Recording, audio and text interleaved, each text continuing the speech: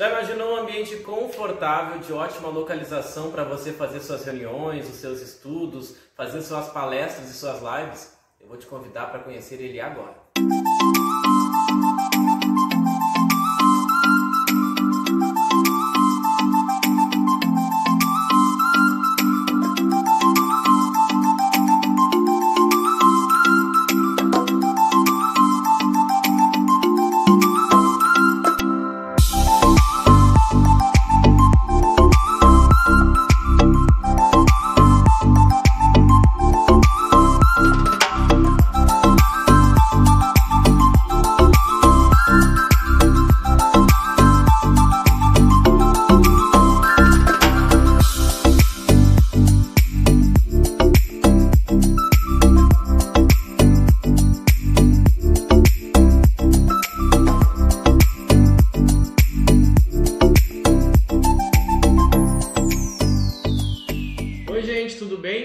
Então, hoje o Kizomba veio te mostrar um espaço bem diferente daqueles que a gente está habituado a mostrar aqui nas entrevistas, né? que é o espaço Morada Cigana e Magia do Oriente.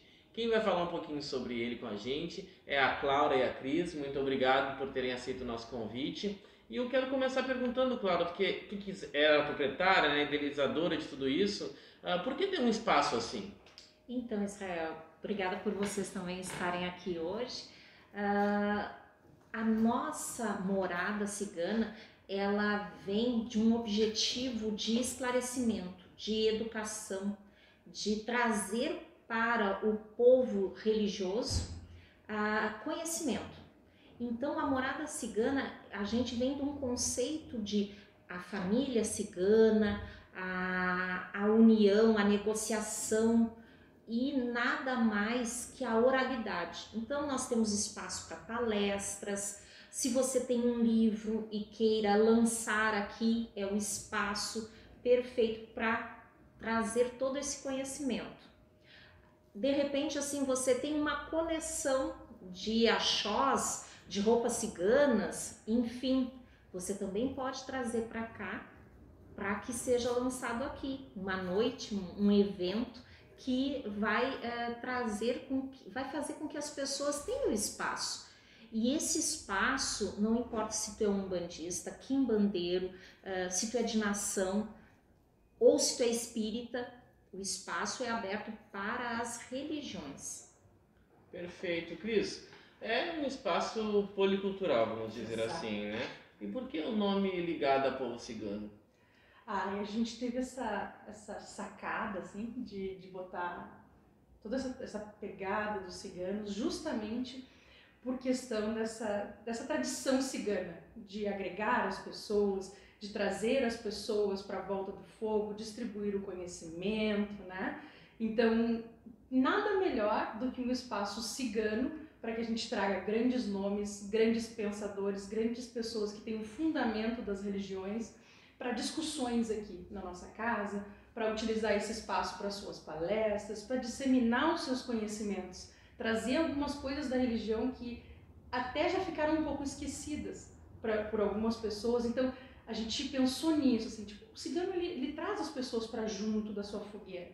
Embora eles não tenham uma morada fixa, né? A gente tem aqui esse espaço em que quem quiser se aproximar da casa para discutir a religiosidade, para fazer alguns tratamentos ligados também à parte da, dos ciganos, isso a gente está colocando aqui para funcionar também, no sentido de a gente traz o conhecimento, temos espaços com a biblioteca para quem queira ler os livros que nós temos, alguns direcionados para a parte aqui do Rio Grande do Sul mesmo, que a gente sabe que dentro das religiões que têm a origem africana, tem muita dificuldade de encontrar literatura aqui do nosso estado do Rio Grande do Sul, que é diferente dos outros estados, então, esse espaço traz essa, essa, essa questão cigana para dentro de todo mundo que queira entrar aqui nessa morada, venham aqui distribuir seus conhecimentos, dividir os seus conhecimentos.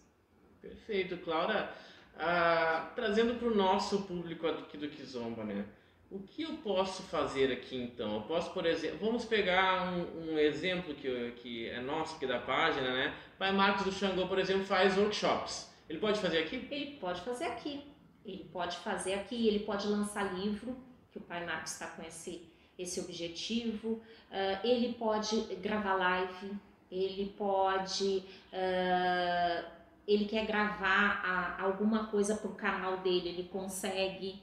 Então aqui é bem eclético e bem diversificado e todos serão muito bem recebidos. Nós estamos num bairro uh, nobre, vamos dizer, da cidade. Uh, pode tocar tambor aqui? Então, nós temos todo um sistema de acústica para que possam fazer barulho.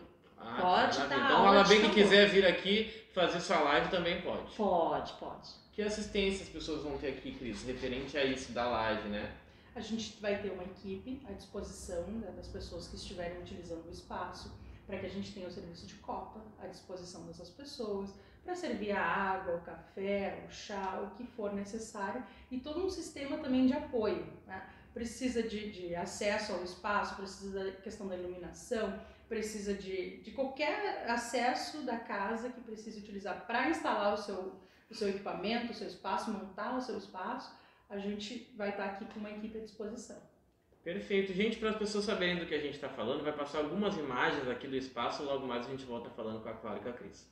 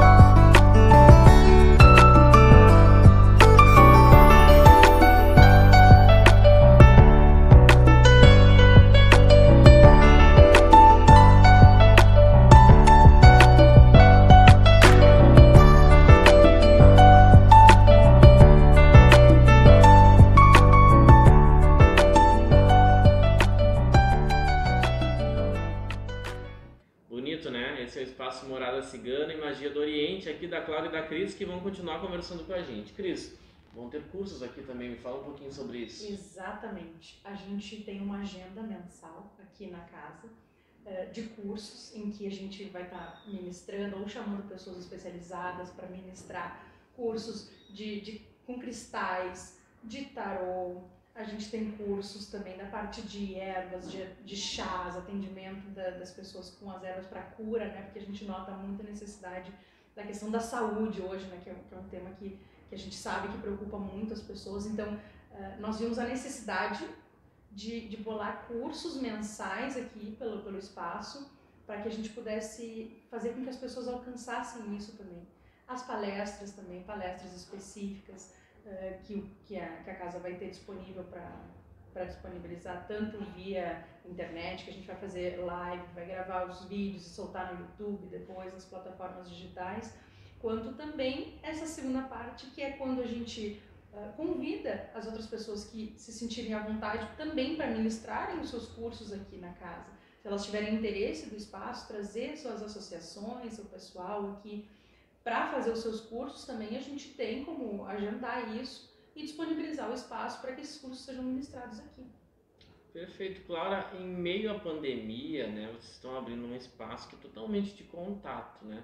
E as pessoas têm um pouquinho de receio quanto a isso, mesmo que esteja agora, graças a Deus, os orixás, né, esteja baixando um pouco a, a o número de, de, de, contaminados. Que cuidados uh, está se tendo aqui para este momento? Então, uh, muito álcool gel. Uh, quando tu entra, tu já vai limpar os sapatos, né? Num tapete que é para isso. Aí tu sobe, tu tira o sapato, coloca as pantufinhas, uh, sempre de máscara e com muito álcool gel e com bastante distanciamento. A ocupação da casa é para até 96 pessoas num período normal. Porém, agora com a pandemia, a gente tem apenas uh, o usual de 30% do espaço. Então, a gente vai manter essas regras. E também, uh, sempre a gente cuida muito porque as pessoas vêm buscar um conforto e não para a gente estar tá causando né, um, um desconforto. um desconforto. Perfeito. Falando em conforto, né, Cris? O nome tem toda uma mística cigana e vocês tiveram a sensibilidade de criar um espaço para que quem tenha fé ou queira conhecer um pouco mais do povo cigano também possa conhecer isso? Exatamente. A magia cigana é incrível, né? Ela atrai a gente pela, pela natureza, ela atrai por essa alegria de viver que o cigano tem, por esse viver em comunidade, viver em família. Então, pensando nisso, uh, nosso espaço, além de ser de reunião, como de um povo cigano, nós temos também um, um espaço de orações. Um espaço em que a pessoa pode chegar ali, conversar com os seus ciganos, se quiser firmar uma vela para os seus ciganos, fazer uma oração.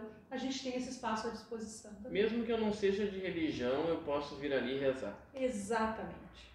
É essa liberdade do povo cigano que faz com que a gente possa disponibilizar isso para as pessoas porque a gente sai revigorado, aquela energia boa dos ciganos revigora as pessoas. Perfeito. Eu vou fazer um pode ou não pode com vocês, para que as pessoas entendam um pouco do que pode ou não pode fazer aqui nesse espaço lindo de vocês. Posso fazer reunião, Cláudia? Pode, pode fazer reunião. E Cris, eu posso fazer, por exemplo, meu trabalho de faculdade, que eu estou fazendo sobre religião de matriz africana, ou qualquer outro aqui também no espaço? Pode. Inclusive, a gente sabe que em muitos trabalhos de conclusão de curso, uh, as pessoas precisam entrevistar, né? Precisam entrevistar as pessoas que vão, vão, vão dar vida para aquele TCC. Então, aqui nós temos um espaço onde ela pode se reunir com essa pessoa, seja online, seja presencial, com todos os cuidados. Mas nós temos aqui esse espaço para que aconteça essa reunião, sem dúvida. Eu faço live jogando buzicato. Posso fazer aqui? Pode fazer aqui também. Temos espaço, temos o palco temos uh, mesa, temos tudo para que a pessoa possa fazer a sua live e mostrar o seu trabalho. Tamboreiro, pode usar o espaço aqui para fazer live tocando tambor? Pode fazer o espaço aqui dele, para tocar o tambor dele, mostrar o trabalho dele sem problema nenhum. Claro, eu posso vir atender o meu cliente aqui jogando búzio? Então, aí não pode. Porque a gente uh, sabe que para jogar búzio e para uh, jogar carta precisa de um espaço reservado. E como nós vamos ter um espaço aonde uh, pode estar tendo um curso, pode estar tendo uma live, nós não temos o ambiente para deixar a pessoa mais isolada, né? Porque várias atividades acontecem ao mesmo tempo. Perfeito. Reunião de associações, de religião, enfim, podem ser feitas aqui. Pode, sem dúvida. A gente tem um espaço aberto aqui interessante para que essas reuniões aconteçam. Da mesma forma, a gente vai ter o suporte para que essas reuniões aconteçam de Copa para as pessoas que precisarem. Toda essa parte, internet, é, para conectividade, isso tudo a gente tem à disposição aqui para quem vem fazer esse, essas reuniões de, de associação. Eu tenho um ateliê de achó, mas eu não tenho aonde atender meus clientes. Eu posso vir aqui tirar a medida deles? Pode vir aqui fazer. Nós temos um, um quarto, uma sala ali que é possível desde que agendado.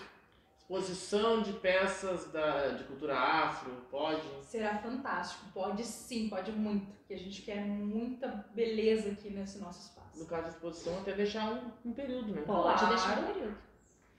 Clara, uh, eu posso vir fazer meu trabalho aqui? Ai, daí não pode. não porque a gente não queira. O meu trabalho de religião, de no caso. Religião. meu trabalho de estudos Isso, eu posso. O de estudo pode, mas o de religião não. Porque a gente não tem a tronqueira, a gente não tem um uh, não o altar, mas a gente não tem a casa de religião. Não é uma casa de religião. Perfeito, muito bacana. Parabéns pelo espaço de vocês, né? Cris, alguma coisa que tu gostaria de deixar mais claro e também tuas considerações finais?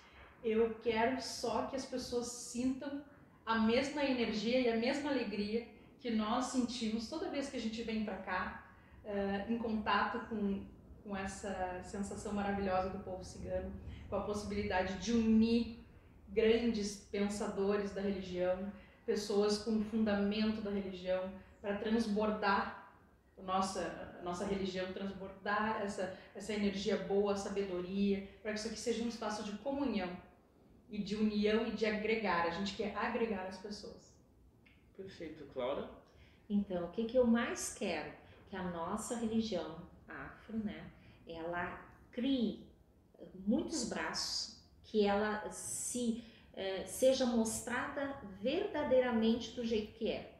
e, e que seja bem explicada através das pessoas que vêm aqui, das palestras e que está aberto também para o público entender o que, que é a nossa religião, seja Umbanda, seja Quimbanda, seja nação, mas que as pessoas saiam daqui com conhecimento correto, para depois a gente não ficar marginalizado, porque tem em alguns lugares, uh, pais de santo, né, que usam da religião para uh, deturpar o que de tão lindo essa nossa religião nos traz. Então a gente quer deixar esse espaço para isso, para conhecimento. Perfeito, parabéns pelo espaço, é lindíssimo. Se você quiser vir conhecer o espaço, só conhecer mesmo também pode, viu? Aqui no cabeçalho está todo o endereço, os contatos para que você venha também desfrutar de mais um espaço que é feito para nossa gente. Até o próximo Kizomba.